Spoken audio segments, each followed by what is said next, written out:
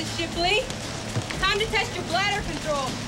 How long before he has to pull the cord? Rest of your life.